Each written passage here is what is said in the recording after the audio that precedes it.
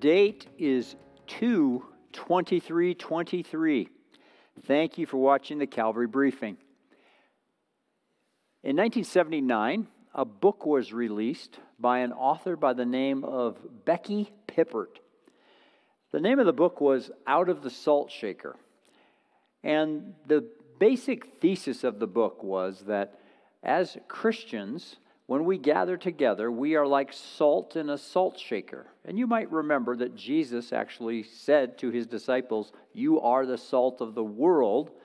And as Christians are gathered together in a salt shaker, um, they also need to be out of the salt shaker. You know that if you just take a salt shaker and take that straight salt onto your tongue, it does not taste very good, but as it is seasoning a piece of meat used sparingly, it gives that meat a flavor. And so the thesis of this book by Becky Pippert was get out of the salt shaker. In other words, take your faith into the world and share it with others.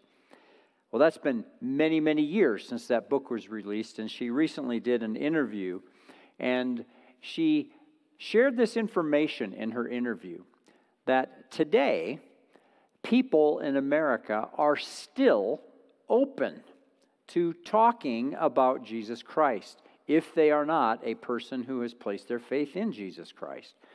We have the idea that today culture is antagonistic toward Christianity, and there's a way in which that is true.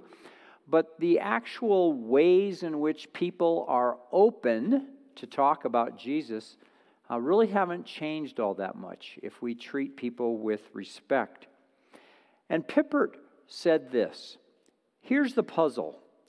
Why do so many Christians sincerely believe the gospel of Jesus Christ is the most wonderful, liberating news God has ever given our weary planet, yet struggle to talk with others about it? And isn't that the issue of our time? Why, if we think this good news is good, and in fact, if we think it's the best news ever, why do we struggle to share the good news? Well, Becky Pippert has been doing seminars and teaching around the world for 40 years or so. And at her seminars, she often will stand in front of the group with her husband and they will ask the question Uh, why don't you share the good news of the gospel more than you do? And she writes that there are five main answers.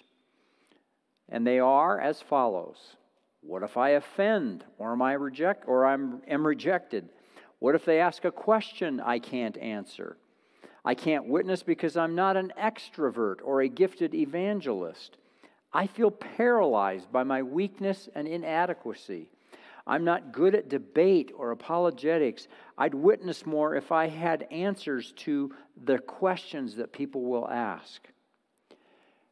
Becky Pippert said she and her husband put these objections up on a screen of some sort, and then they ask the people that are at the seminar to look at those objections and find a common theme in those objections.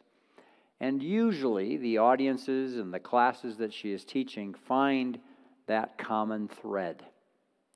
Their focus is entirely on themselves. As you think about that, those objections are things that many of us feel, and yet we have to admit the focus is on us and as Pippert goes on with her seminar, she often asks, What's missing in this? What's missing in these objections? And as people look at them, they again say, Well, we don't even mention God in our objections to sharing our faith. Well, as we look at God's Word, we see that the disciples struggled in many of the same ways that we do. The disciples had seen Jesus feed people.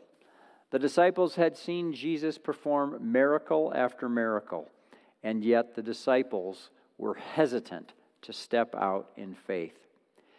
As we look at our own lives and as we look at the disciples' lives, there are some solutions to the problem of not sharing our faith more than we do. And one of those solutions starts with repentance. As we've been going through the Gospel of John here at Calvary Church on Sunday mornings, we're aware of repentance, the necessity of turning and going in another direction. As we are normally traveling towards sin and involved in sinful behavior, repentance means that we turn from that well, we need to constantly repent. And we need to ask God to forgive us for relying on our own strength. Like the man in Mark 9:24, we we need to cry out to God, "I believe, but help my unbelief." And as we look at Paul, we see that Paul asked God to take away a, a thorn that was in his flesh that was preventing him from being all that he thought he could be for Christ. And yet we remember the words of God to Paul My grace is sufficient for you, my power is made perfect in weakness. Christ answered Paul's request not by curing him, but with a promise. And that promise set Paul free. And Paul writes in 2 Corinthians 12 9 and 10 I will boast all the more gladly of my weaknesses so that the power of Christ may rest on me. For when I am weak, then I am strong. And then in Philippians chapter 4, Paul writes, I can do all things through Christ who strengthens me.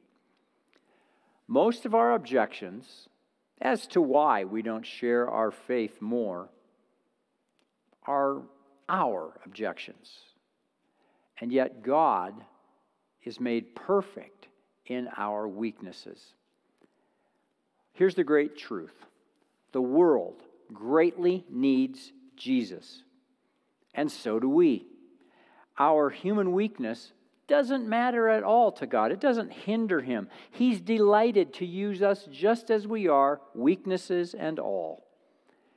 We have questions that we can't answer, we have fears and failures.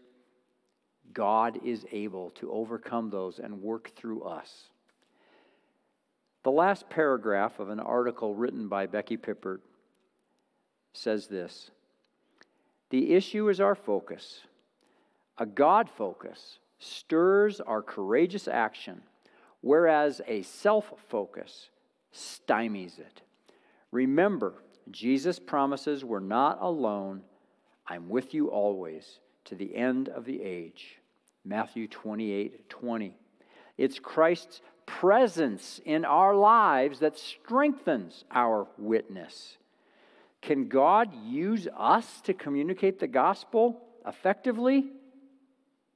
Emphatically, I say yes, because even though our context and our culture has changed, the power of the gospel has not changed a bit. We can speak the gospel with confidence, knowing Christ is the answer to people's greatest needs and desires, including their profound longing for home.